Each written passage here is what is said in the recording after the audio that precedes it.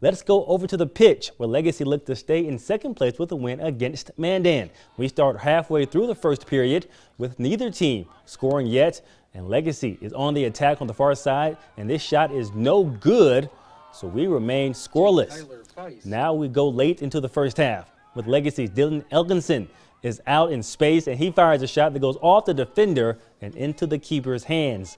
Now two minutes left in the first half. Jackson Dickinson lets one fly, and the ball goes off the diving goaltender's hand.